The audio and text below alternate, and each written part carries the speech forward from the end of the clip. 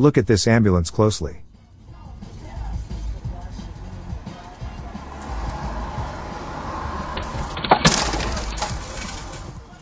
A man escaped while being transported for mental health care. This was totally hilarious. Like he already did this several times.